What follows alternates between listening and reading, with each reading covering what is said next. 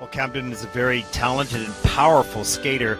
No question about that. Has all the difficulty needed.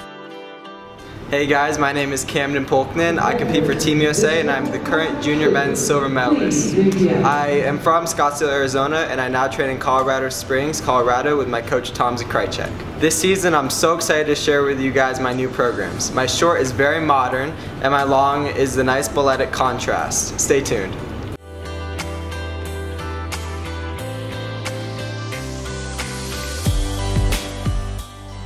Jackson's awesome. Their customer service is the best in the business and the new carbon fiber bottoms look so sick on the boots.